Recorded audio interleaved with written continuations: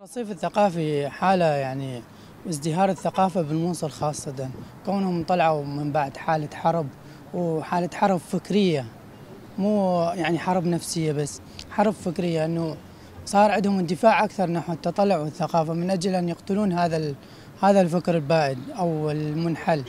الرصيف الثقافي ضم عدة أشكال وعدة ثقافات مثل لوحات فنية، كتب، شعراء هو أشبه بالمتنبي يعني هذا اختصار الرصيف الثقافي.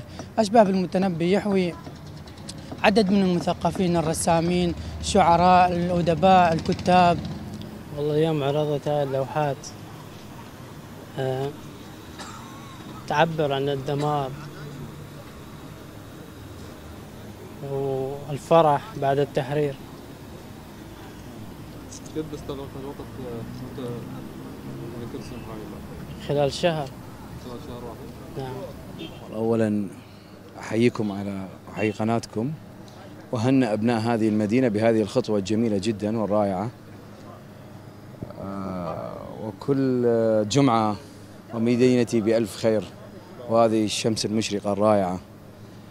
آه، وإن شاء الله أكو إقبال على الكتب وإن شاء الله هناك قراء. والكتب مثل ما تعرف هي متنوعة بكل المجالات ما اقتصرت على مجال معين وهذا يدل على شيء رائع وجميل وتشوفوها مثل الورود. فعلا إحنا الآن في ربيع ربيع رائع. بداية نشكر الموصلية على هذه التغطية الجميلة للجمعة الثانية. آه، أنا صاحب مكتبة آشور.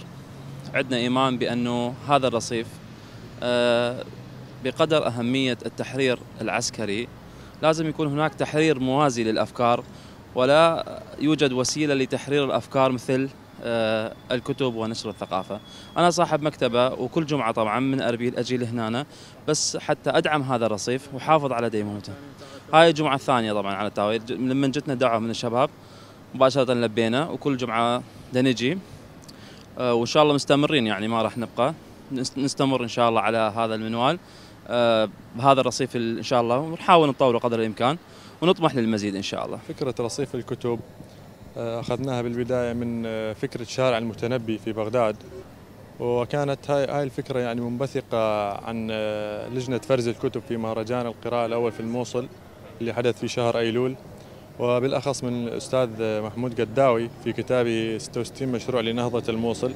طبعا إحنا قعدنا وحبينا نطبق الفكرة على أرض الواقع مثل ما تشوفون يعني بعد جهد آه، شهرين تقريبا اختارينا هذا المكان آه، موافقات أمنية من قيادة العمليات آه، من البلدية ومثل ما تشوفون يعني دعينا المكتبات إنه يجون يفتحون في هذا الرصيف. كذلك دعينا اتحاد الشعراء اتحاد الاتحاد العام للشعراء أيضا.